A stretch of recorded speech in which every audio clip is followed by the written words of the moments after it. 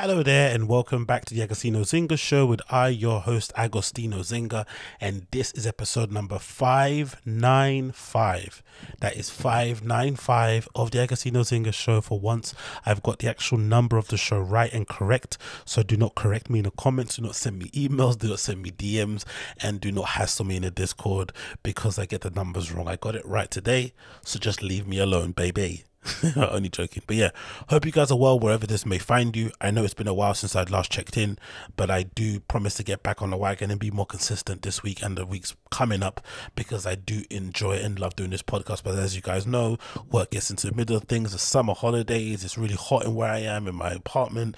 It's hard to record and keep the windows closed because you don't want the road sounds to come and ignore you and disturb you whilst you're recording. It's loads of nonsense that happens. So it sounds like DSP excuses, but I promise not. For whatever reason, there the thing flipping just stopped recording. I think because I'm the one that's pressed it and made it not record. But hey, ho, here we are. We're back again in the hot seat. Hope you're well wherever this podcast may be finding you. I'm doing absolutely sparkling, absolutely fine, fasting as usual, running as usual, working out as usual, and doing all the things I need to do to keep my body and mind nice and healthy during these pathetic, pathetic months that we're living in. I've actually got a bit of a W E D D I N G that I'm meant to be going to hopefully soon and I'm actually going to try and do something a bit extreme in terms of getting my LBs down. So if you see some drastic changes in my appearance within the next four weeks or so, don't be alarmed, don't be scared, don't be writing me essays in the comments saying, I guess you know you need to eat some more. You look too skinny, blah blah blah. I'm doing it for a reason. I'm doing it for a specific event, a specific day. So that's exactly what I'm doing it for. So mind your business and leave me the hell alone, okay? Okay, cool. So that's what I'm basically thinking of doing for the most part. And um, what's I've been up to? Oh, um, over the weekend, what I do. So over the weekend, as per usual, I was working most of the weekends. I didn't really have much time to really, you know, enjoy and frolic and do the things I needed to do. Plus, I had this really annoying issue in my building where, you know, the electric wasn't really working as great as it should do. And then for the Sunday, for the most part, the Wi-Fi was basically down for the majority of Saturday evening, heading into Sunday morning, which made it hard to, you know, just live and do normal things. Which is funny because when the Wi-Fi goes down for the most part, it does kind of reveal how dependent I am on those kind of things, right? Obviously, you got your phone you can use, but there's nothing like sitting down on your laptop and watching something, right? Or checking out social media or whatnot. And it was very evident that as soon as the Wi Fi went, my day completely was devoid of any sort of um, purpose what I mean? I got really, I got really sleepy. Um, I got really lethargic, and the day just kind of really drudged by until the Wi-Fi did come back on later on in the afternoon. But it was a bit of a mad one because it seemed to only happen to my apartment. I, I kept checking the, the kind of online, you know, service update things to see if anything in my area was affected, but nothing. And of course, I don't really live in a building where you know you have nice neighbors, so I can't exactly go knock on people's door. I could if I wanted to, but you know, I, I don't want the image of me knocking on someone's door randomly during the day asking if their Wi-Fi is working. That's a bit weird. And be pathetic. So I just did what most men do. I just shut my mouth, swallowed it, and just carried on, keep and just kept on going actually. And you know, luckily enough, it did come back early on in the afternoon, so I was able to kind of reconvene, get back to working, and just live my everyday life after that happened on the Saturday, I went to Fold, of course, because where else am I gonna be in this flipping London, in in this um city devoid of actual decent nightclubs, the one decent one we have, I'm gonna spend a lot of time there. And I'm probably thinking after going this recent time that I maybe spent too much time there. I need to give it a bit of a rest or get a bit of a break and start maybe exploring some other places. But you know, the other places aren't that great. That's the problem with it. And it's just so good in there. But you know, some reasons I'm gonna pull up later on about why I want to make a bit of a change. But anyway, so I ended up going to Fold. Um, I ended up going to their night which they do for residents called Resistance or Resistance however you say it or whatever maybe. I went to the second one. I missed the first one unfortunately. I like to always go to like the first of these type of events because it's nice to kind of see what the vibe is um, and just kind of be there when it kind of happens the first time. It's quite nice to kind of know, hey, I was there when it, you know, when they put their first party on, similar to when Folder opened and they had their very, very first party. I was one of the people there sweating my ass off, absolutely going crazy, talking to everybody about the place, you know, um, eulogizing about it as I have done on this channel and just kind of, you know, spreading the gospel of Fold after I went to that first party because I was so proud that I went to the first one and it was so fucking amazing too.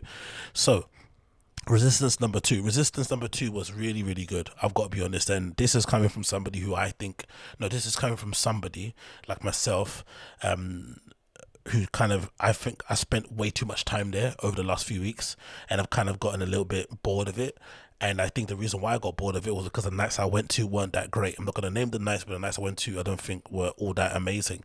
And the reason behind it, for the most part, is that you know, I, am sure if when you start uh, when you start a club, you you obviously start with good intentions. You want to probably get your mates involved. You want to book some people that you like and stuff. But I'm imagining when you do get to the actual bare you know the bare brass knuckles of a fucking club and absolutely running it day to day there are a lot of things that you kind of maybe have to compromise on. And i feel like maybe in the last few months and stuff we've seen a little bit of that with fold in terms of their bookings and people who they're playing people who's playing there nights they're putting on and stuff things they're trying to give a go and trial blah blah blah blah blah that clearly you have to kind of make sure you keep the lights on. So you can't just you know afford to just have your mates on and these underground people. You need people who are actually going to be able to sell tickets um, get people through the door get people spending at the bar bloody blah blah blah. Blah.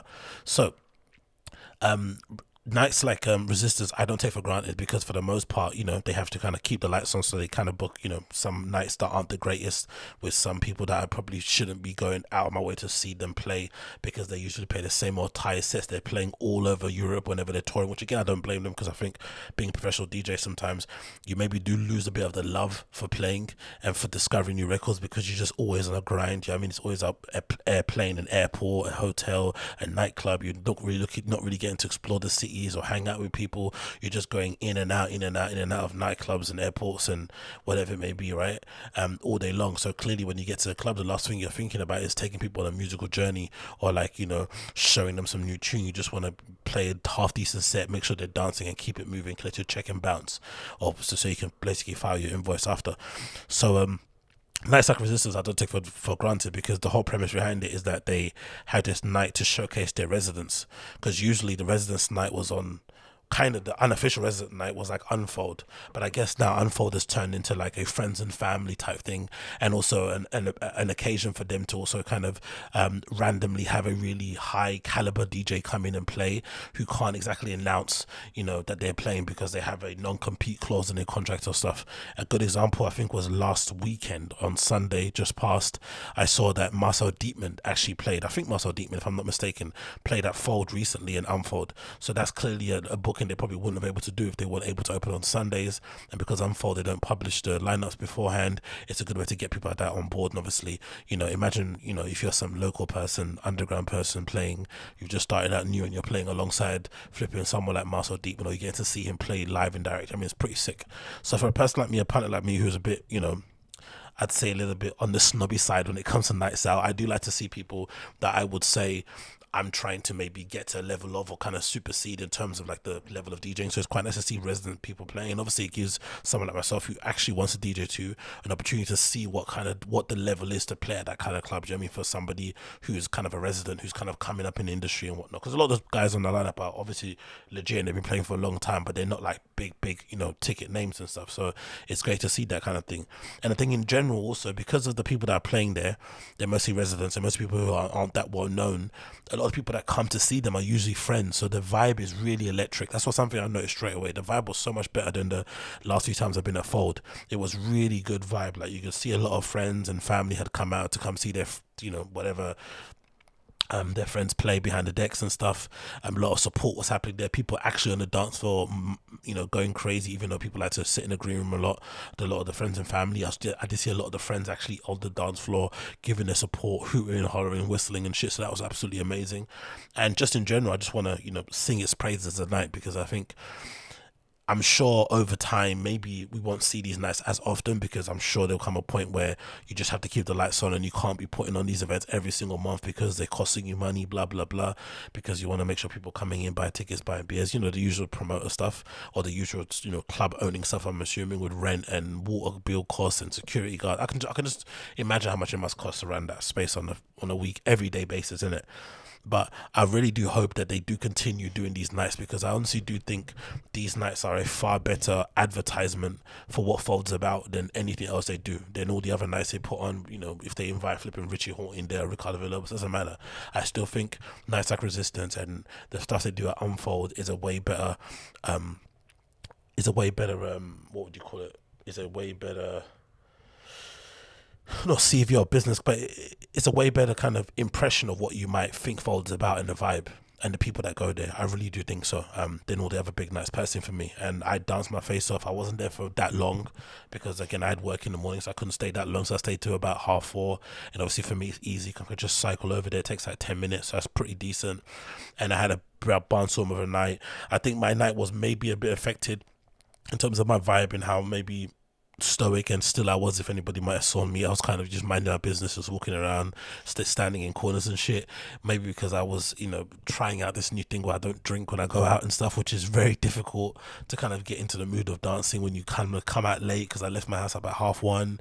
You're not drinking. People are already up and high and drunk by the time you get there, and then you're trying to catch up, and then you're like, do you know I mean? It's not the best um, way to do it, but I do like it because in terms of myself, you know, being a DJ and being somebody that's a also a music fan and fanatic, I actually do enjoy going to nightclubs and actually enjoying the music and not just going there to get drunk or high. You know I mean, that's definitely one of my main prerogatives. So um, it's good to kind of have that you know drunkenness kind of taken out of it by not drinking alcohol and just going there sober having some water in it and they're really cool with giving you glasses of water with ice in there as well which is really nice because you know it really gets hot in there. But the sound system was absolutely amazing that day. I'm not sure if they you know particularly tuned it because to do favors for people who are playing with their friends but and their colleagues but god damn the sounding fold is so good. They might have to do the shape and the size of the club how it's kind of like a extended rectangle kind of shape, but god damn it, man, it's really good, really fucking good sound. Um, absolutely barnstorm. I think by the time I got there, I saw the end of James Newmarch set, and then Annabella, um, Annabella Aurora playing, and she was banging. Like this girl, whoever she is, I'm not really too familiar with her, but she's definitely a resident um, at Fold. Was really really good. Um, so good that I'm actually going to play a little audio clip that I recorded there because, of course, you know I take pictures over there, and they're doing really well because. I feel as if the last few months I've been there because prior when I used to go, um, they used to give you a little sheet and they used to tell you to take the stickers off of the little sheet, like little circle things, and they put it on there.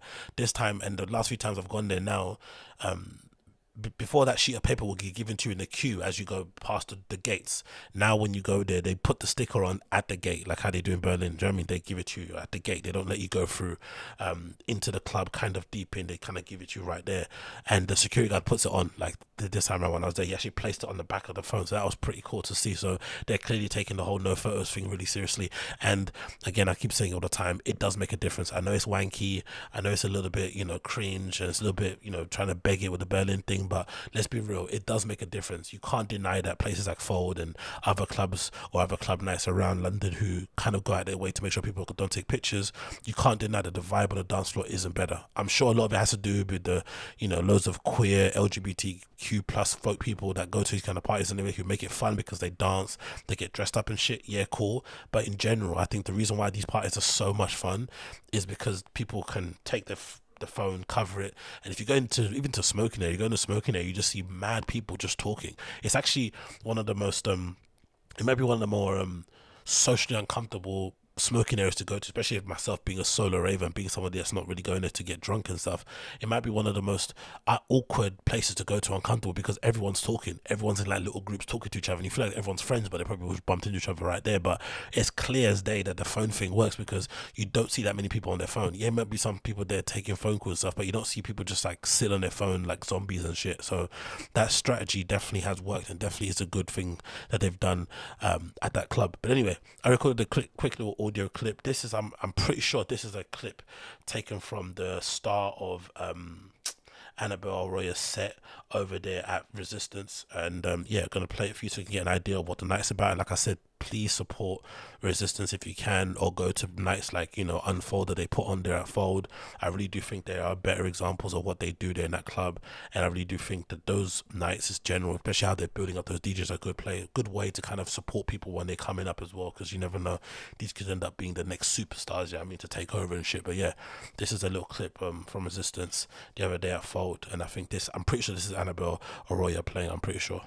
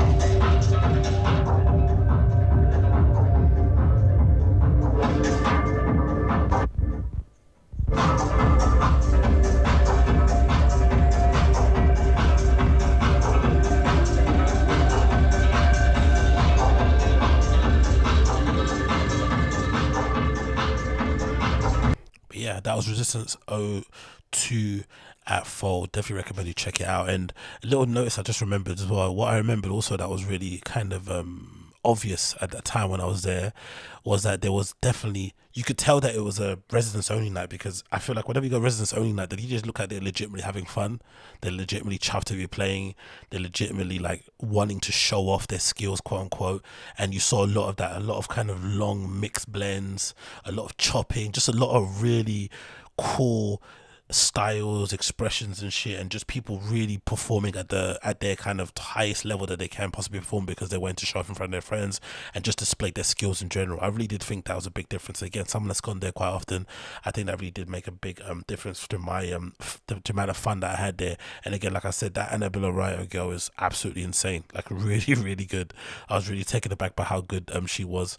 Um, just you know, and I'm pretty sure she was those parts of it where she was playing vinyl as well, just like insane, insane levels of mixing, insane levels of track selection. Um, really was a musical journey, and I really did enjoy it. And again, I only saw the end of James Newmarsh, and again the end of um, the whole set of Annabelle Ryo, but I missed um, Gareth Wild when he played. I think he came on towards the end. I'm pretty sure I saw him come later on at the end of the night. But yeah, all in all, really enjoyable. Really, really liked it as per usual. Excellently organized and all that. Can't really complain about anything they do over there. They run a really good, great ship, and yeah, all things, man, all things are good over there. But having said that, it did get me thinking in general, right, about um how I guess um what's that word called? How kind of meh I'm feeling about Nice Out in recent times.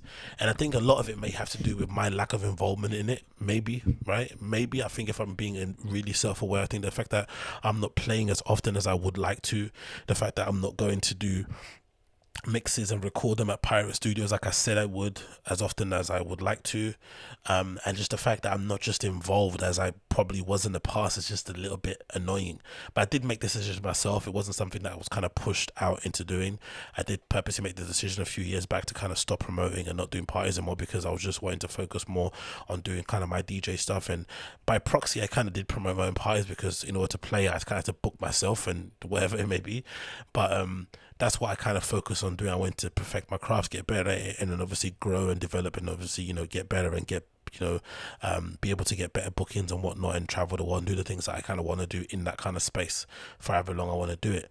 But in general, there is an aspect of also getting involved that would involve me because I haven't even done this yet, which would involve me, you know, actually setting up and doing the zine I've always wanted to do, which was kind of a nightlife scene, exploring all things about nightlife. I'll be talking about, you know, crazy shit like drugs and drinking and, you know, going out and key, you know, maybe hot button topics of, around nightlife in terms of abuse, maybe in terms of representation, whatever it may be. I'll just kind of, I wanted to always create that kind of like zine little thing that I'd kind of just leave at record stores, just, just to kind of like, um, just a sort of like, um, a kind of a project that I kind of make for myself. Do you know I mean?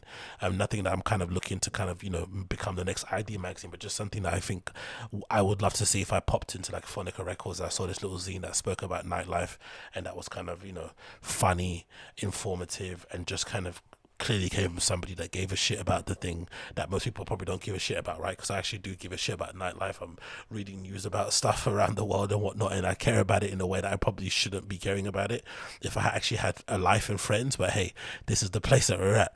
But anyway, I was thinking about the my mere attitude towards nightlife and stuff. And one of the things that kind of is really something that I'm still kind of getting to grips with and I kind of feel a bit cringe about is the whole like techno nightlife attire thing, that whole dressing that people do when they go out. And I feel like it rubs me up the wrong way because it's more of a personal issue. Because I remember when I was growing up, I was always the kind of um, I would like to describe myself. It's a bit cringe to say but I'd always describe myself as like the alt kid, right, in my area, right, the alternative kid, because you know I grew up in a predominantly black neighborhood with predominantly black friends, and I was the only person that was into like you know, um, listening to indie music, you know, punk, wherever, maybe metal, going to metal festivals, wearing band t-shirts, skateboarding, all that kind of nonsense, kind of like typical non-black stuff, right. And for the most part, what I really annoyed me about it was that on one side of things, with my black friends, I'd get teased about it, which is fine because it's just, you know, they didn't really know about it or they weren't really exposed to it. So I understand that. But on the white side of things, I'd also get dirty looks and kind of be treated as like a poser because I never dressed like them. I purposely didn't want to look like them. I didn't want to turn up like to a skateboard meetup wearing like a blueprint t-shirt or something. Do you know what I mean? I kind of went out of my way to just dress normal and not dress like a typical person that's into that's into going to like Camden Underworld or something, right? That's wearing patches all over his damn jacket and shit. I try to go against that and it always used to annoy me whenever you'd go to this kind of place and you see all these people who clearly think they're very unique and special and different, but they all look exactly the same. There's nothing unique or different about them at all. It's kind of the typical hipster thing, right? Trying so hard to be different, but you're actually the same as everybody else, or everybody else is into your little niche.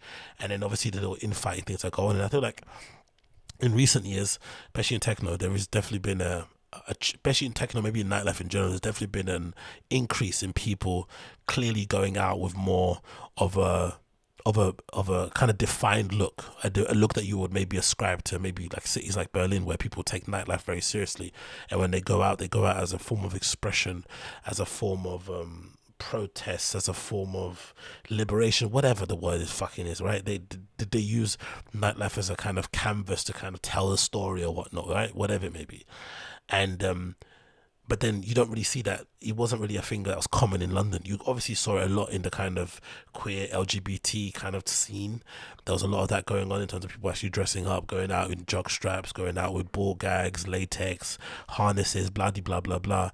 But in recent years, it felt like it's become a really popular here in London, and people are going out like and really going for it. But there's also a part of me that kind of feels like a lot of it is a bit posery, is a bit cringe, is a bit performative, is a bit lame, right? Just pure lame. And for whatever reason, even though I know I'm performing because I go out in my fucking Rick shorts and my Rick shoes or my New Rock boots or my all black Jordan 4s, whatever I'm wearing, my Dr. Martens, my double sole Dr. Martens, my Jadon boots, I'm sure I'm also somewhat being performative or whatnot. But I don't know, man. Just feels like being surrounded by people in a club that look like that just kind of rubs me up the wrong way a little bit. And it really shouldn't, I know, but it just does. And what made me think of it was this this label called 44 Label Group by the world renowned DJ Kobosil, right? Who's also a resident was he a resident at Berghain, or did he, or did he got? He said the one that got kicked out. Yeah, that's him, right? I'm pretty sure Kabos is the one that got um, who got um, who's not a resident anymore at Berghain because he went through that whatever scandal in terms of him allegedly inviting, you know, um, women of the night back to the DJ booth or something. I don't know. Something happened, right? Something happened, and he and he basically got kicked off the residence program. But anyway, he's got a very popular sort of like um, label that he does, and also a merch that design that he does, which is called Four Four Label Group. I'm sure you've seen people wear it with the logo on the back. It's pretty sick. Um, Teletech in the UK have kind of done a similar sort of thing with their logo on the back. So there's a lot of these kind of you know techno labels out there. There's another one as well called Nakt N A T N A K T, which a lot of people take the piss out of. Nakt Berlin which is very hipster, very cringe. Um, they take themselves very seriously despite the clothes they make being pretty average and bog standards and pretty much overpriced but still there's a, been an upsurge i feel like in that kind of clothing in recent years. And obviously this being another great example of it with Kobosil, you know world-renowned dj basically doing the same thing with his kind of clothing and creating this specific clothing for people who like to go to nightclubs. And for me it just even when i say it it sounds so so disgusting. It's like it's like making skatewear skate clothes that only skateboarders will like is a bit cringe. I would prefer you just make good clothing. It's like reason why I love Supreme so much because Supreme just make good clothes regardless. So even if you read um, interviews with James Jebbia from the past, he'll say the reason why he set up Supreme is because whenever he went to skate shops, he felt like the standard of skate clothing was really bad, and he felt like the skaters deserved better than that, right? Because they were he felt like very cultured. They obviously people that cared a lot about their product. Um, they had good attention to detail and stuff. They were just you know in, in, in um, insanely cool in general. So he wanted to obviously provide them with some level of clothing that kind of matched how he saw them in his head. But it wasn't him coming in there and providing them with like better skate clothing or skate wear. It was just, no, I'm going to give you better clothing in general. Here's a better quality t shirt. Here's a better quality polo. It's not going to have fucking trucks printed on the back, but it's just going to be a cool polo with a reference that you would get if you know, if you know, kind of thing. And I feel like club specific wear is a bit too much on the nose, right? It's these like even my glasses, I had them in my bag, and I was so cringed and by the people around me that I was out on the weekend. I couldn't even put them out of my bag to wear because I felt so ridiculous, right? and I feel like that's what kind of genre specific or niche specific clothing does because it's very specific to the group. It's like these go fast glasses, kind of these Oakley, um, Karen, uh, you know, Blue Lives Matter glasses that everyone's kind of wanking over these oak, which is quite funny to be honest. The fact that you know this alternative scene, this underground scene that's very left leaning, that's very LGBTQ queer friendly, has adopted the glasses of people who are predominantly right right leaning, don't believe in you know, don't believe in abortions, are very much anti gay or whatever it may be, especially when it comes to their own family. Uh, but it's obviously copped in the scene. But anyway, that's regardless. So it's all that, it's all black, it's all leather, it's all, you know, com com combat sometimes here and there, small t shirts, belts, um, I don't know, just stuff that you generally see people wear in a club. I just feel like it's a bit cringy. So this is a little clip taken from 4 4 label groups Full of Fire Spring 2023. Uh, sorry, Spring 2023 um yeah collection. For whatever reason, the comments are turned off on the on the video. So I'm not sure what's going on. I think the comments might have been brutal, people taking the piss out of it, but I thought this was incredibly cringe, but also very smart in the for someone like a Kobosil, right? Because you know DJ career is not forever. I don't think so. I don't think any DJ should be thinking about playing forever anyway. You should be using it as a means or as a platform to do other things. If you can play forever, fair enough. But I don't know. It's, it feels like a wasted, a wasted opportunity in life to kind of just do that only because you're getting exposed to so many different people. You get to all these cool, cool places. You're getting paid an obscene amount of money to well for the job that you're doing, given you know the kind of level of work and whatnot. You should be using this opportunity to kind of build and do other things, whether it's setting up a label, an agency, um, opening up a bar, a restaurant, whatever. Getting involved in you know in real estate, that should be the way to do it. And obviously, if you're a Kabosian, you could do this collection. You could just just keep churning out these fucking pretty mediocre nightlife kind of clothing, then I'm sure people are gonna keep swallowing it up. So it's definitely smart on his side of things. But for me, as a fan of this culture, it's a little bit cringe. I have to be honest. But this is, this is a video I'll play quickly so you can get a vibe of what it's about.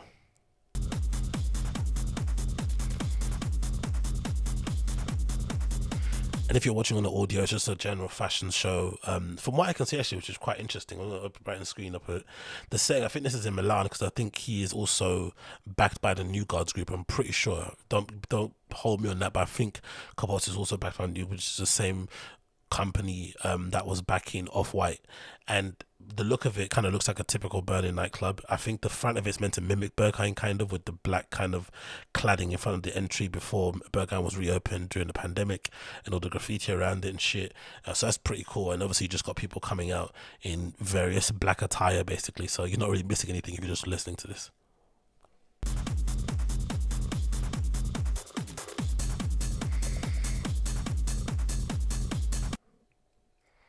Well, that's 720p.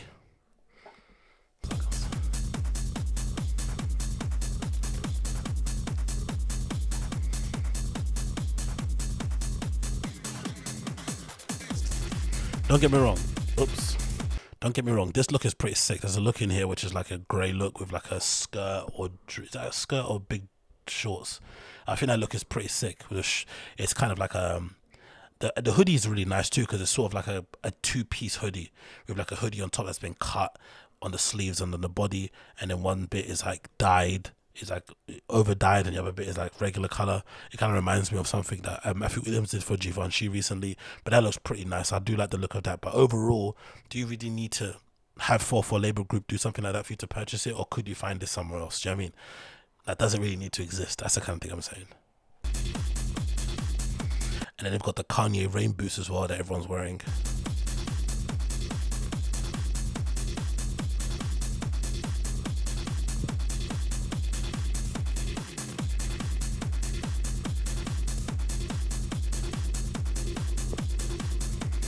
so I'll just pause and just scoot around a bit so you can see some of the looks. But yeah, I just don't know. I think part of me feels like nightlife wear is a bit lame, but maybe I'm in the minority here. So if you are a fan of nightlife wear and um, you know, I mean club wear in general, then please let me know in the comments down below. I'm not gonna post pictures because I was gonna just you know post pictures of people that I've seen online that wear this kind of stuff, but it's not fair to have people, random people online, and just take the piss out of them in that regard. But you know the kind of person I'm talking about, the people that wear mesh, PVC, you know, straps and shit and ball gags. I don't know. Some for some reason it feels like people like that when you put a uniform on, they feel as if they're like way more legit because they have a uniform on. It's like not really though. You look like everybody else in the queue. Do you know I mean like, especially if you're buying your shit from Amazon, it's not exactly counterculture. Do you know I mean you're not exactly sticking it to the man. You're not exactly shocking people with your shit. You know I mean you want to shock someone with your shit. Like actually wear something really offensive. Wear like a fucking "Make America Great" hat again or something. Do you know I mean? Um, wear like a t-shirt that's pro Putin um, where like a what, what's his name, Xi Jinping, the the Chinese president, flipping memorabilia or something. I mean, let's let's really go for it if we're gonna go for it. But I thought the actual show of it was pretty cool. The fact that they made people queue up and look like a fake, a fake like fake nightclub was really nice. Um, that's I guess makes some sense in it. He's probably got his own music playing as well as a soundtrack, so that kind of is a good little tie-in. I'm sure some people would like it. I'm sure there's many kids around the world who aren't as cool as the people I kind of go. Um, who I kind of stuck, who I kind of um, cross paths with when I go out. Sometimes I'm not going to count myself in that, but the people who I see out, I'm sure there's other kids who just watch this from afar and just want to wear this and look cool amongst their little friends in Berlin, in Belgium, in Switzerland, and shit places like that, right? Where they're not really in this kind of super hardcore, cool, trendy shit. I'm sure they'll lap this kind of thing up. So that's it's probably for an international consumer base. It's probably not for even someone like me or the people that I maybe I'm associated with or around. So that probably makes a lot of sense. But in general, I just don't know, man. I just don't know. It cringes me out. It makes me feel like shit seeing it everywhere and seeing everybody kind of thinking they're really doing something by wearing this sort of stuff out in the clubs and they all look the same. I'd much rather see people actually wearing fashion pieces, like actually having a sense of style, actually looking like they give a shit about what they wear instead of just putting uniforms on. But again, you know, who am I to tell people what to do in their lives, isn't it? Who am I? But maybe I'm in the wrong, maybe I'm in the minority. If I mean I am, um, let me know in the comments down below what you think. I'd love to hear your opinion. Next on the list here. So, I shouldn't really take any satisfaction out of these sort of things because clearly I'm not at this company anymore. So clearly I did something wrong too, to kind of not be there at the company itself. But I used to work at this company, right, a really long time ago. And I have to say, it was maybe one of the worst jobs I've ever had. Just not even in terms of like what they did, more so in terms of my overall vibe and how I was in my place in life at the time. I guess I just going through a shitty period in life. I don't know what was going on because I tend to do this thing where when I go through really troubling times, really hard times, I tend to kind of memory hole it. I tend to what what they call retcon, where you just you know you basically no retcon's not even that. Retcon you basically um you tell your own version of what actually happened. I just memory hole it. I memory hold that shit. It goes into a memory well. Do you know what I mean? And it gets locked up with a flipping crazy lock and it never gets opened again. And I can't really remember how where I was in my head, whatnot, but I do know I wasn't in a good place. I do know I probably wasn't the best employee, wasn't the best colleague. But the company that I did work at was really shit. Like kind of a really weird toxic vibe. Um it was very clicky also, which I can understand, but I feel like sometimes in companies, you know, if you're gonna be because that company had a lot of churn, a lot of kind of hiring and firing. If you're gonna be hiring a lot of people, you just have to make sure. If you're gonna let go of people and hiring people, people, you have to make sure people that come in feel welcome, so they're not leaving as much as you know what I mean as before. You want to keep, you want to have some level of retention, and I feel like they didn't really have that level of retention or care about level of retention. So there was a lot of kind of like clicky vibes there going on, especially when it comes to like after hour times and people wanting to go for drinks. You felt like people were like purposely not telling you certain things. It just felt really weird. I just didn't like it and um, I didn't really vibe or click with people there too much, so it was no real loss in that regard. Um, I do remember the last time I maybe bumped into them, people that did work at that company was like at some random house party. I don't even know who it is. Do you know I? I don't even know who I was speaking to at the time, but it was definitely some girl I was speaking to who invited me to a house party because she used to work there, and I was obviously friendly with her, and I went there hang out for a bit. I don't know what exactly. I, I don't even remember. I really don't. It's flipping bizarre how I memory well everything bad that happens in my life. But anyway, it, it did happen bad, and I didn't like it. It was a bad experience. Boo hoo hoo. But anyway, the company that basically I'm talking about is this company called Pollen and they're essentially like an events management company, which I didn't know actually even existed. So it's quite cool when I did end up going there because the idea behind it was like, oh shit, I like nightlife, I like events, I like festivals, I like clubs. Um, I could learn something to this sort of thing, especially you know given that I was a promoter in my own kind of previous life, that would make more sense. But the job itself was never actually like that kind of stuff. It was way more boring than how they advertised it. But hey, whatever. It's my fault for being there in the first place. But essentially, what they do is that if you're familiar with like festivals and club nights and stuff, they usually send out email promo, right? Or they usually have like a site where you can buy a ticket or where you can like buy installments of a ticket or whatnot, or whatever it may be, or buy kind of add ons to your ticket, VIP packages, tents, blah, blah, blah, whatever it may be. And they will basically manage that in the back end. So for you, the punter, the customer, you'll just see Glastonbury, here's the tickets, whatever. You just go and buy on the website, but you don't know in the back end, they actually outsource all that stuff to another company, which makes a lot of sense because if you're organizing a festival, the last thing you want to do, you know, I mean, you already saw out the toilets and you're sorting out the bar stuff. The last thing you want to do is be sitting there and kind of deliberating and making sure you're sending out email um, pushes to get people to sign up for tickets and stuff. So a lot of my time was spent sending out emails with like the header that says, you know, 98% of the tickets are sold, which clearly they weren't. Last time tickets, or sending text messages and shit. Like it was really crazy. So that was the kind of stuff that I ended up doing. And um, yeah, it was really boring, really shit. Didn't really enjoy it for the most part, but they had a really big client customer base and stuff and I really didn't understand why because for me I felt like the company wasn't that innovative wasn't that forward thinking um, wasn't really doing anything cool or different. They just kind of I guess monopolized it because of whatever. I don't know. I, I just didn't really understand why they were doing so well at the time. And clearly they weren't because as this news um, courtesy of Sky Sports says as follows bust um, taxpayer backed events company Pollen lays off bulk of staff right so it says administrators of taxpayer-backed startup which sold travel experiences featuring music musicians such as Justin Bieber has laid off the bulk of its staff in its remaining UK workforce. So I know I'm laughing, but for some reason I felt like those guys when they when they when they heard that I left were maybe like, oh my god, you know what I mean, making it seem as if like I'm the one that lost out when actually I won because you know that place was toxic and it was shit. Um, so it's kind of funny to see that, and obviously some of the people who I didn't like, you know, haha, eat that. But also, it just kind of is vindicating for me because I definitely didn't understand why it was doing so well. I just, especially when I got in, when you see it from the outside, it's kind of like, oh wow, all this kind of lights and glamour and shit. But when you get on the inside, you're like, you're not really doing anything that interesting. Why are you still in, in business? And it's quite encouraging actually things like that because when you see startups like that that are able to employ so many people and whatnot, it does give you some kind of encouragement that you are going to be okay too. Um, in terms of setting up your own business. One thing that I should have kind of probably known that was really bait that maybe it wasn't doing well. If I remember correctly, again, I memory hold a lot of things, but I do remember there always being an issue with money, with pay.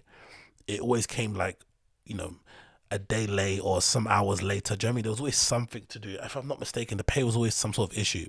People being worried, uh, did I get paid yet? Can I go out for lunch yet? Those kind of like conversations around the workplace, which is never, I feel like, a good recipe for a company. I feel like when you have those kind of issues, when people can't really talk openly about their problems, um, when people feel like they can't get promoted or can't advance in the company, and when there's issues around money, I feel like usually those are really um, bad issues at a company that you kind of have to root out quickly because they're usually going to be your downfall, from what I've seen. Um, or you just create a toxic environment that just carries on trudging on, you know, um, little by little, and then people just keep leaving and leaving and leaving. Kroll has yet to be formally appointed the minister of Pollen's subsidiaries, but the company, with the company's founders retaining control of those for the time being. Pollen has been scrambling to secure funding, um, no, has scrambling to secure a rescue deal for weeks, but the collapse just months after announcing 150 million funding round, which included the government's future fund.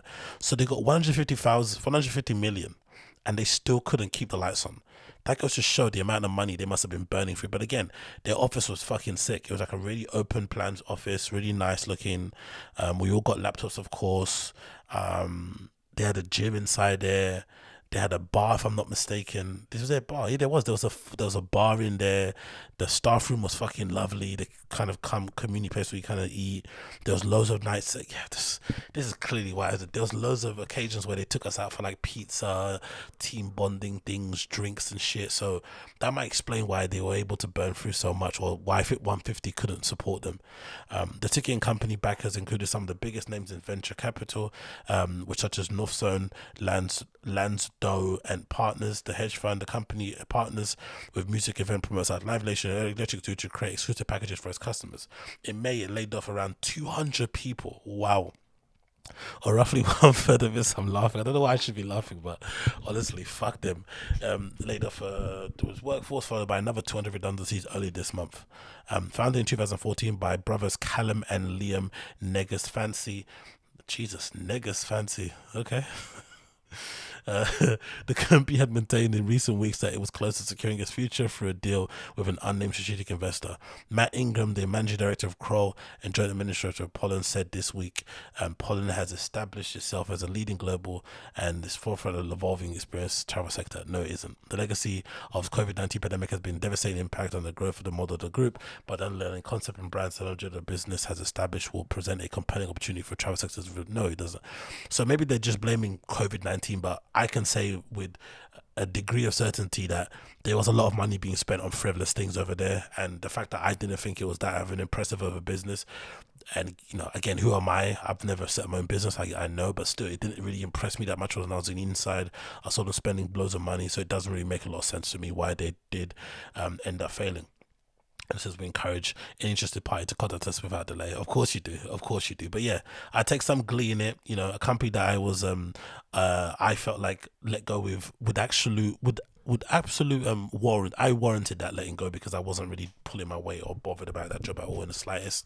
But I'm also kind of happy about it because the people there did have a little bit of a stinky attitude. They did kind of go on as if like they were hot shit. They did kind of go on as if they were working for fucking Apple or some shit when it was just a company that was sending people spamming people's inboxes on MSN, also of text messages and fucking email and you know bombarding them on social media with fucking updates about tickets being sold when they haven't been sold. Just nonsense shit. So clearly the business wasn't really connecting with people in general. The moment they hit a, a little bit of a road bump, they completely faltered. 150 million they burned through, plus whatever else they got on top of that. Insane, insane, insane. Obviously, those the people who, you know, who are decent people who got let go from there and you have to look for another job. It is what it is. I'm sorry about that. But the people I didn't like, go fuck yourself and enjoy that. Or go fuck yourself and hold that, actually. That's what you can say. Go fuck yourself and hold that. God Almighty. Anyway, going on from that one, um, what I was talking about? Um, I'm actually I was actually sitting down right, um, minding my own business when I stumbled across this news on social media about a Lamborghini Urus Performante.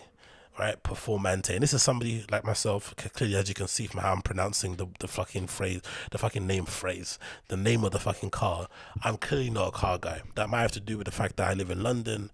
It might have to do with the fact that I'm GAY, I don't know, but regardless, I'm not the biggest car guy, right? In terms of knowledge about it, but I would like one day to own my own car. would like obviously one day to have a license first, but you know, I've got to. I want to basically get to that level where I have my own nice shiny car, and the plan's always been to kind of go out there and buy my first car, and it be like a Tesla or something.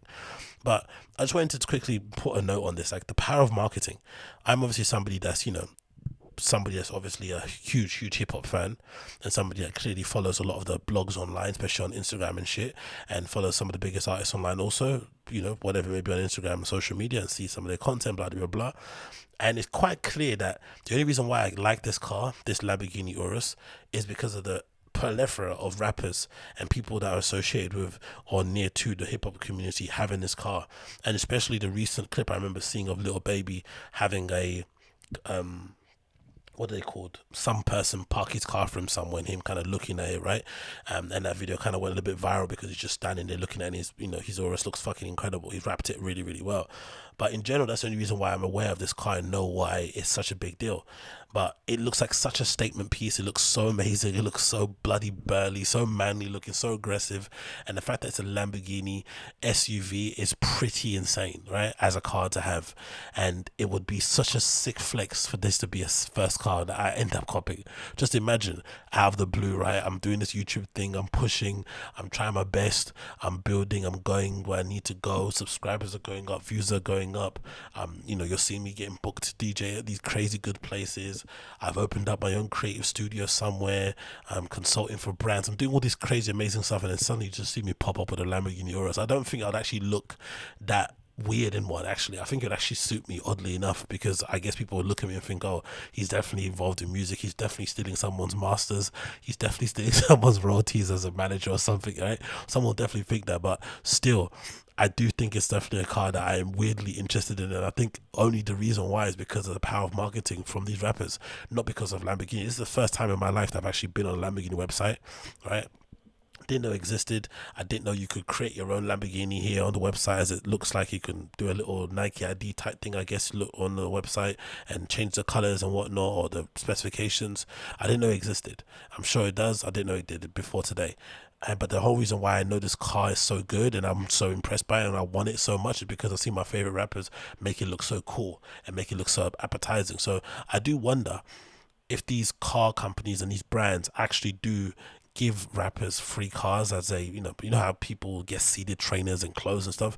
I wonder if car companies do the same thing because I know there's some industries where they don't see that all. I, I forgot which one it was there are a lot of industries off, ah, off the top of my head. Maybe it is a car company, car industry. There's a lot of industries where they don't actually see, they don't actually give out free cars to certain influencers to drive, or maybe to kind of have. They maybe give it to you to lend to do a review if you're YouTube and shit. But for the most part, they don't actually give you a car because they think, oh, you're gonna you've got a good reach, people respect your opinion on cars, you're gonna get this seen in different places. No, they're just, you know, the car's the price it is. You can maybe have a test drive and drive it early, but there's a price here. It is you have to buy, blah blah. But I think there's a lot more people like myself who, again, I'm not a car person, who might have seen a Lamborghini Urus in a Lil Baby video and thought, you know what, I need that. They might have seen Kanye driving one. I need that. Travis Scott, I need that. And I think those guys should get some they should be getting slipped some sort of money or some something or the like because they've I can only imagine the amount of people they've influenced to kind of and this is what real influence is about like something that I don't give a shit about in terms of cars someone cool that I'm kind of that I kind of like or that I look up to buying one or having one and then me wanting it also because I look up to them. That's what real influence is about do you know I mean? Making me pay attention to something I don't give a shit about at all. But this Lamborghini Urus is absolutely incredible man. It really is really good looking. Um, a Lamborghini SUV you know I mean? You really can't go wrong.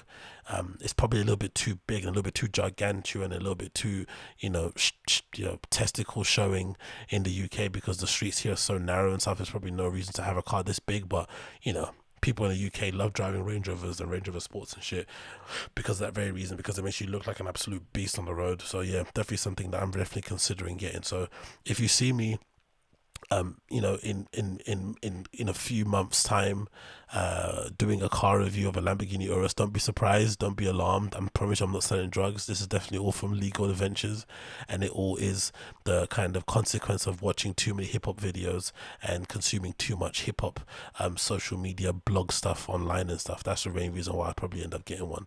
I do guarantee you in that one.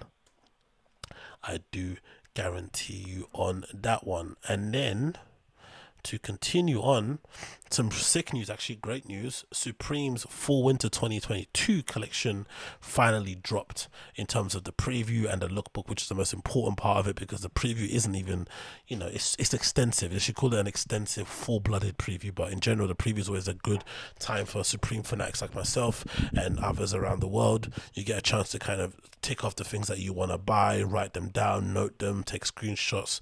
I mean, beforehand, I used to record. No, what did I used to do? I used to just do put them in um, a PDF um, with like notes and stuff I went to cop and whatever it may be. And usually the list will be super long. By the time the collection comes out, you only buy like end up buying five pieces from the collection because you forgot because you don't have any money, whatever it may be. But it's always nice to kind of look for the preview and dream about stuff that you would want to purchase. But one thing that's always clear, that's always evident and that is beyond reproach is that the fall winter 2022 collection is always i think the pinnacle of what supreme do. Their fall collection is so bloody good. So i because i feel like as much as supreme are known for their hoodies and their t-shirts and stuff i still think they are unparalleled when it comes to their fucking jumpers knitwear and most importantly coats and jackets. They have some of the best coats and jackets you've ever seen. And if the reason that's annoying is because i think to myself if i was ever seated by supreme or if i was able able to get some discount from supreme the first thing that would be really hard not to do would be to buy a million jackets. That's the thing that I would do the most. I just go in there if I had discount and be able to buy two jackets. The thing, you know, one jacket is like three hundred quid, so you're not exactly be able to buy two all the time. But if you if you get twenty percent off of them, you can maybe get two for like 400 right 450 which would make it way more tempting to go out and buy two jackets like one maybe down one um you know one waterproof thing one maybe nice one whatever it may be you could always kind of kind of double up on that regard. And i think that's the main thing that i would do. So i think supreme doesn't get enough credit for their jackets. Their jackets are really fucking good. And this collection is no exception. And i want to just show it to you here on screen. So of course the supreme website and the preview is there. Of course, they got news of and when it's actually dropping. I'll just quickly read that to you now. So it says the Fall Winter 22 collection um, is going to be available in stores and online from this Thursday. So if you go and got any money, I'm sorry about that. Um, most people like myself get paid at the end of the month, but luckily I did save some just in case something did come out. So I'm gonna be able to buy some bits and pieces from the first shop. So I'm looking forward to that one.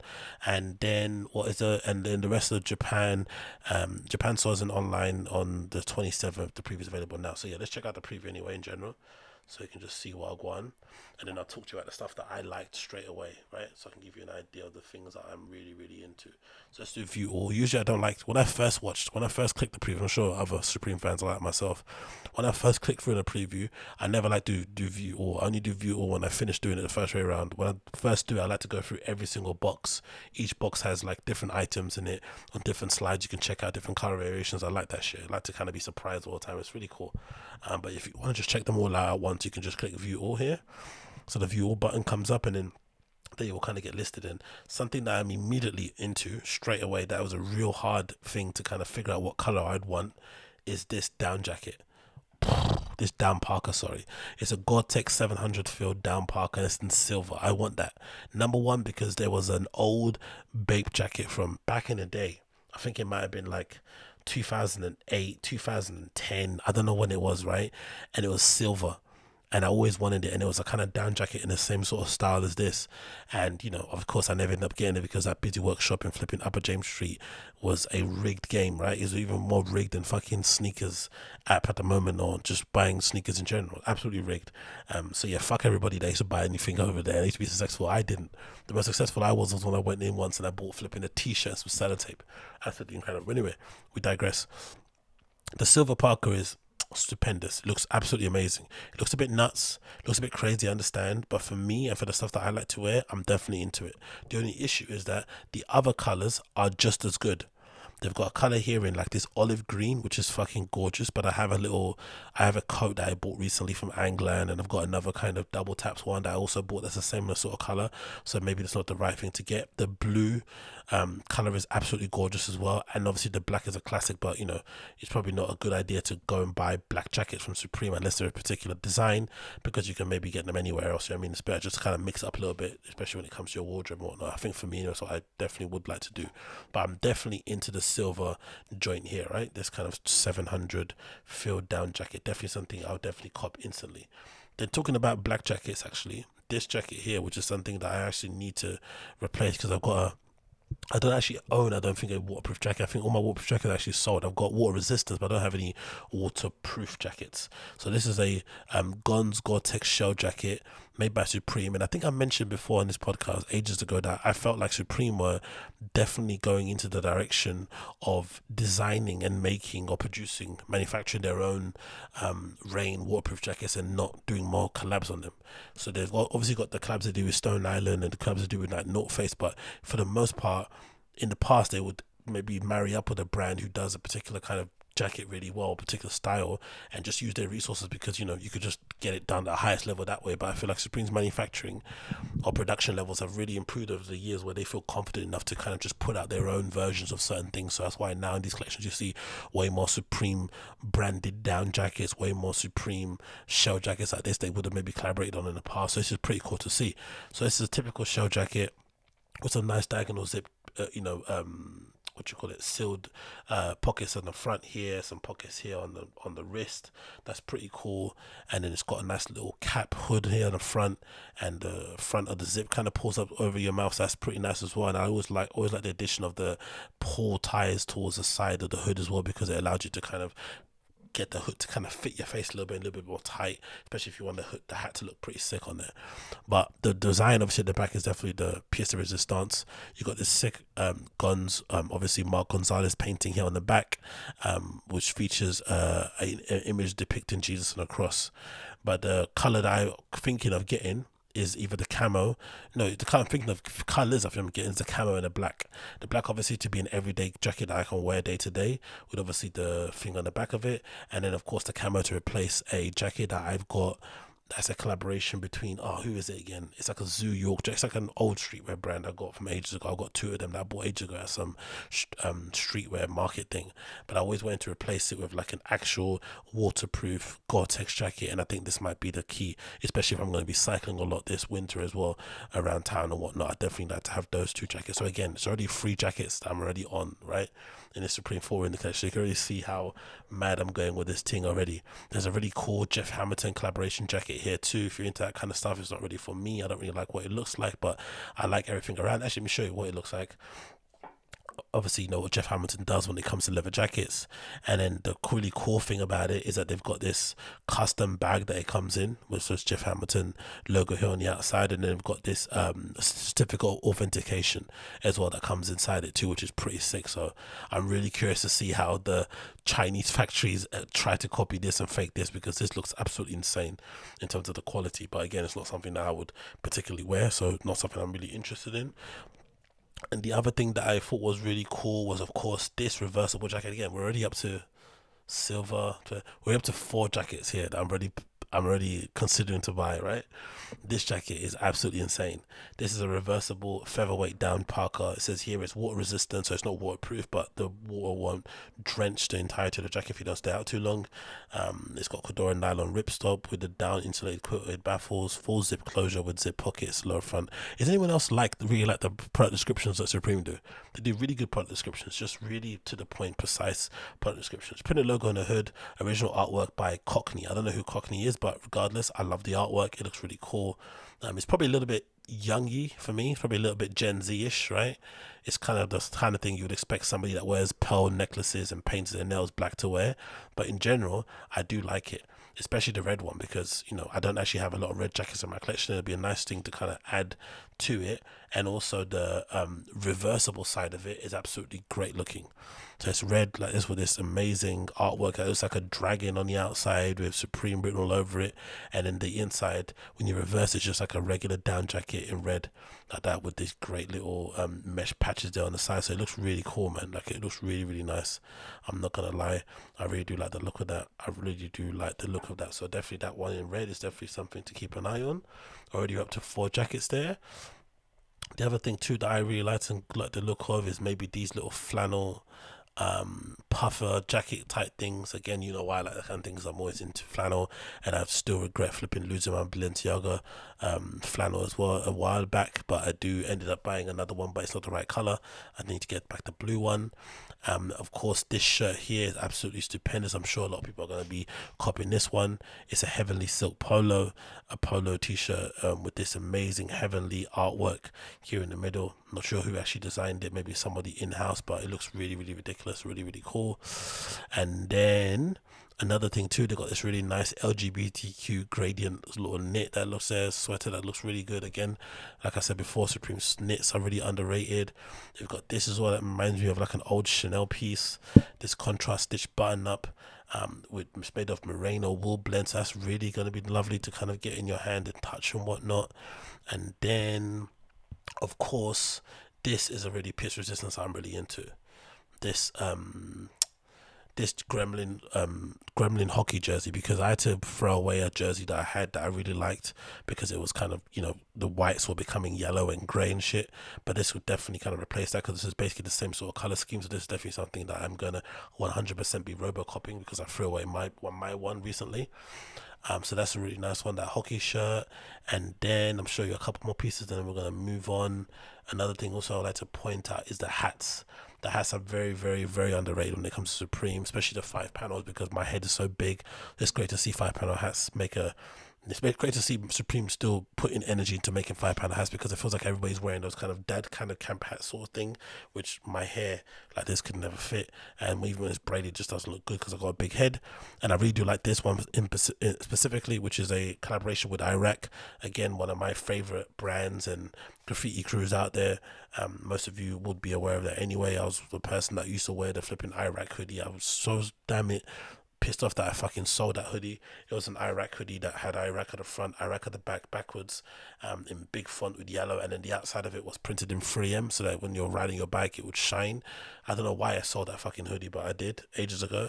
But anyway, regardless, IRAK did a collaboration with Supreme. They've got, I think they've got a hoodie, they've got a, they've got a balaclava, they've got trousers, and they've also got this hat that's a Supreme logo, and it's got um the IRAK written font over over the top of it as well. I'm not sure actually who actually created the font for IRAK. I'm not sure if it was Earsnot or somebody else, but regardless, the font looks sick over the top of it. So that hat is really sick. And the last thing to point out that I really like as well is the bags. I need the backpack. So the backpack is definitely something that I'm considering to buy because I need to replace my one because it's absolutely busted. Um, so the silver one, of course, would look cool to match the fucking jacket I'm going to get, but I might end up just sticking with the black to be kind of standard. But I really do like the silver as well. I think the silver looks really, really good, and I think in general all these bags in this collection look amazing. I'm I'm kind of bummed they stopped kind of numbering the bags because I think the last time I had a bag was like I had like a a 12th and maybe a 13th. No, I had the 11th and the 13th, but now they stopped numbering them because before they would number the bags. I know there's definitely a website out there that still probably numbers them now, but that was a standard thing they did. They've got this huge, massive, large whole tote bag thing that looks fucking incredible. Um, again, the duffel bag is always a favorite of mine that I never end up getting, but I'll probably end up getting it this time around to have something to take to, to have something to take my shit to the gym with and whatnot. Um, they've got a nice shoulder bag here that I'm sure that'll be really popular again because it's got Supreme written on the front of it waist bag is always really impressive again. But the bags this time I was really impressed by even this little collection of an organizer pouch looks really cool. Cordura, and I think this is really cheap too. I remember seeing the price being something like fifty or thirty dollars or something, which is crazy. And yeah, I really like the look of the bags, really like the look of the accessories, and as per usual, it all looks absolutely fantastic. And you can even check out some of the lookbook pictures as well; they look really cool. Um, we've got a lookbook pictures here, feature some of the Jeff Hamilton pieces. You know, standard sort of wear, all styled really well as per usual. You can't go wrong when it comes to Prima this sort of stuff. And yeah, man, that's that silver jacket looks hard in it. Come on, man, you know that looks hard. I can't wait. I'm definitely gonna try and get it. I'm definitely gonna try and get it. It's probably gonna be a buck, and it's gonna, gonna be a lot of money. So it's gonna be cheap. And again, that that jacket too, I like too. That red one with the dragon on it is absolutely crazy, but it definitely is worth trying to see if I can cop that the rest of it. Oh, and there's a True Religion collaboration coming up too that hasn't been announced. That looks pretty sick. I'm sure people are going to be into that. Um, that looks really really cool as well and yeah, that that flannel kind of puffer jacket I wanted looks really nice. I'm just not a fan of all the logos in the back of it, but again, this is how I have, to, I have to kind of expect accept with this version of Supreme. There's always a, an abundance of like these logo things, the script written on the back and stuff. There's a lot of this. In yesteryears, that would never have been on there. There would have just been like a little red tag on the side of the scene, but they've done a lot of this sort of like you know logo font stuff happening, and it's just annoying a little bit. But hey this is the new version Supreme. And again, that jacket is super hard, even in that color. But again, I'll probably end up going for the black and the camo. And then there's another one to show you quickly as the last is this jacket here. It was really underrated, I think. But it'll end up being popular because I think this image is really, really tough. So I'm sure people will end up copying it anyway, regardless. But I think this jacket is really slept on. Um, very, very nice. Um, it's kind of white again. If you listen to this on podcast only, it's white body with like a black strip on the shoulder and a red strip going over right down to the end of it as well. It looks really, really beautiful. I'm really big fan of it. But again, full full winter supreme never disappoints. You can never go wrong with it. They always kind of smash out of the park. So um, yeah, we definitely be trying to get some stuff this Thursday when it eventually does drop. Talking about fall winter collections and dropping, Stussy have also decided to drop and tease their fall 2022 lookbook, showing all their new wares. And I think this is, might be the greatest time in history to be a fan of streetwear, legitimately think about all the big dogs, right? Think about Stussy, think about Supreme, um, then think about all the other up and coming brands, then think about all the brands that exist only on Instagram, then think about all the kind of local LA brands, the New York brands, the brands that we have here in London, the brands that are in Paris, all these different places around Europe and whatnot. Everyone's doing some really cool shit because everyone has access to decent level manufacturing. You can send your stuff off to China, to Portugal, to Turkey to get done and whatnot. You can print your stuff and manufacture your things in the US if you want to also and have it all be made in the US. So if you're really a fan of streetwear, nowadays I feel like it's the best time ever to be a fan and to also partake and to participate. You know what I mean? To actually start your own brand is actually it's actually never been easier time or a better time to start your own brand because it feels like everybody's into it. Sneaker industry is a multi-billion dollar industry. I'm pretty sure streetwear is not far behind it. Also, everyone wants to look fly. Everyone wants to look cool, especially when you're a kid in school and stuff. You just want to impress your friends. You want to look fly. You want to make sure people know that you know what's up. And there's no way of showing that better. I remember when I was growing up, the main thing, even though I was wearing stuff at Supreme, was also to be always on to the next brand coming up. Oh, this guy was an ex Supreme staff. Oh, this guy used to design for Mighty Healthy. This guy used to design for Adidas. Do you know I mean? All that kind of stuff and knowing who was next up, knowing what brand was sick was always a part of kind of showing how cool you are and how up you are and things. So it really is a great time. I feel like everyone's kind of pushing each other because, you know, there's only so many t-shirts a, man can have. There's only so many jackets a man can have right? So you really have to try to make sure you create something special that your customers are really going to want. So it feels like everybody's really on their a game when it comes to putting out stuff. There's no there's there's some brands out there that are terrible but that's just because you know the people behind it don't know what they're doing. But for the most part i feel like everybody that's really trying that's really talented that's really persistent that's really consistent they're really trying their best to outdo some of the big dogs out there and make sure that customers because they all share customers right? The customers that would go out and buy buy stuff from Supreme or Stussy are also considering buying from their little brand that they have on Shopify. So I love that shit. And again, think about all the other brands, the skateboarding uh, specific ones only, right? The kind of like the sci-fi fantasy stuff and all that kind of people. Like people are doing some strong stuff out there, man. Like really strong. The dimes, you know, the bronze. Like there's so many cool brands out there that exist. It's absolutely incredible. But anyway, back to Stussy. Stussy Fall 2022 lookbook. Some decent stuff in here showcasing as well. It says here for Fall 2022, Stussy captures a portrait of our London friends and family alongside an iconic eight ball. The collection delivers familiar silhouettes. Um, First, first delivery will be uh, available worldwide in Europe on the 19th, which is just gone. So you'll be able to get that already now if you're in the UK. And obviously, the rest of them you can see there. But let's get to the pictures. That's the most important thing. Straight away, you see uh, maybe a potential Stussy collaboration. It looks like that might be an an Air Max, if I'm not mistaken, and it might be of TL. If I'm, I don't know what the number it was again. Is it two? It's the one that was like 150 back in the day in Foot Locker. I remember, I forgot the model, but instantly I see a potential um, Nike collaboration that's pretty decent. Um, the pictures look really great too. I think this is actually taken in the Stussy store in London because I'm sure they have this eight ball in there somewhere. Um, yeah, the pictures look really great. There's nice little varsity jackets here going on. There's obviously a collaboration with Dr. Martens coming up. Um, nice fleeces that they always do well with, nice overshirts, nice trousers, nice sleeveless t-shirts. That logo always worked really well. That that jacket with the dice on the back is amazing. All great, amazing looks. Nice knits. Oh, that jacket with the print. Fucking hell. What is that? Is that like a camo print? Is that like a print of a surface? It's like a surface, right? Like an overhead shot of something. Like, yeah, like that's a beach. That's some land or something. That jacket looks hard. We'll check the store in a minute and see what that's about. Nice knit there, nice trousers. I like that they're always mixing the unisex stuff to make sure people know what I want. Again, a better idea and look at the of the trainers. Nice print shirt there. Nice fleece there. Nice look. Everyone looks like they've been arrested though, innit? Like a smile, everyone looks like they've been arrested. But the pictures are lovely though, regardless. Um, nice little shirt there, good little sweatshirt, a nice little half zip, flannel. You know the stuff that you expect from fucking Supreme. Oh my first Stussy, sorry.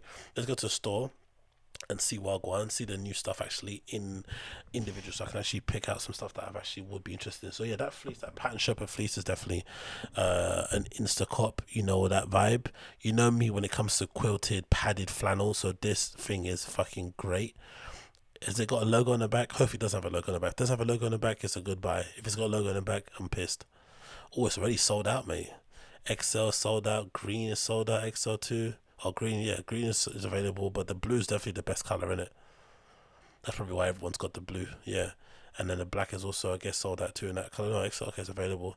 Okay, yeah, no logo on the back, so that's pretty decent. Oh, look at those boots they got available. Oh, there's a uh, Danner Stussy collaborations coming up, right? They look really nice in it. So that flannel looks really impressive. I'm really a fan of that padded flannel. It's called a quilted fatigue shirt actually, but it does look somewhat insulated for the winter months. Let's go back to the rest of the collection here uh, before we move on.